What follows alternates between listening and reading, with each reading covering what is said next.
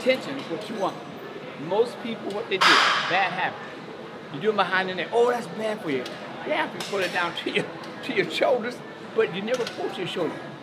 Mid part of the head, let's go. You stop there and you contract. That works. But when you start trying to pull all the way down, you'll get injured.